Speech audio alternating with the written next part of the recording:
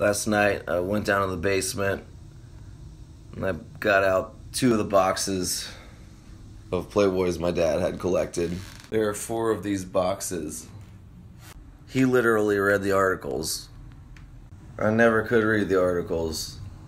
Anyway, I just wanted to cut out some stuff to make collages. Hark. I just found an unopened one. Just as I suspected. It's from the month he died. Let's open it. There's a tradition to find the Playboy Bunny logo on the cover. You're never gonna find it. It's right there.